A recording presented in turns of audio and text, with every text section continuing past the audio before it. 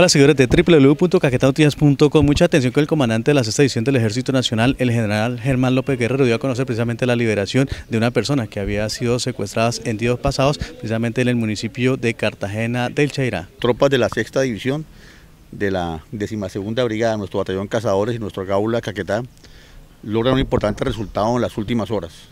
Eh, todo inicia el día anterior, hacia el mediodía, donde una persona que se encontraba en Cartagena del Chairá, nuestro municipio de Cartagena del Chairá, es conducido hacia las afueras del municipio eh, a algún tipo de actividad como engaño. Una vez estando a unos 7 kilómetros del casco urbano, proceden a interceptar los dos individuos armados que inicialmente se identifican como integrantes de los residuales de la FARC.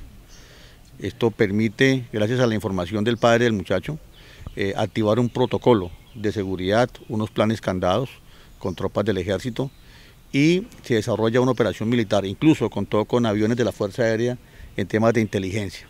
Afortunadamente, hacia las 19 horas, eh, en un cruce de caminos en la vereda del Diamante del municipio de Cartagena del Chairá, se logra interceptar los cuatro individuos, el plagiado y tres de los secuestradores. Ese muchacho, cuando ve la tropa, inmediatamente se lanza hacia los soldados manifestando que es el secuestrado se rodean los demás individuos y se procede con todo un protocolo que tiene que ver con el proceder del Gaula Caquetá.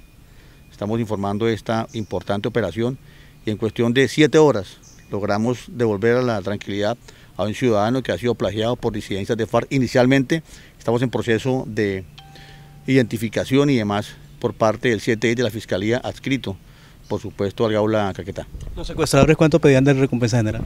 Eh, se supo y la petición fue por 40 millones de pesos que se le hizo al padre del joven que se encontraba en Cartagena del Chairá. Es el primer caso que registramos este año en tema de, secuestro. Conocemos de algunas extorsiones que se han venido presentando y pues la tropa ha estado atenta, han habido capturas, como las que se ha hecho por ejemplo en Puerto Rico, el mismo Cartagena del Chairá. Pero es el primer caso que registramos de secuestro extorsivo y que afortunadamente se pudo contrarrestar. De esta manera, precisamente, el Ejército Nacional continúa realizando su trabajo en el sur del país, así lo da a conocer el general Germán López Guerrero, comandante de la sexta edición del Ejército Nacional. Soy Martín informando para Caquetá Noticias, noticias destacadas. Y no olvidar me gusta para aquí informar todo lo que pasa en esta zona del sur del país. La carne de res es un alimento nutritivo y delicioso que no puede faltar en nuestra mesa. Pero, ¿comprarías esta carne ilegal para tu familia?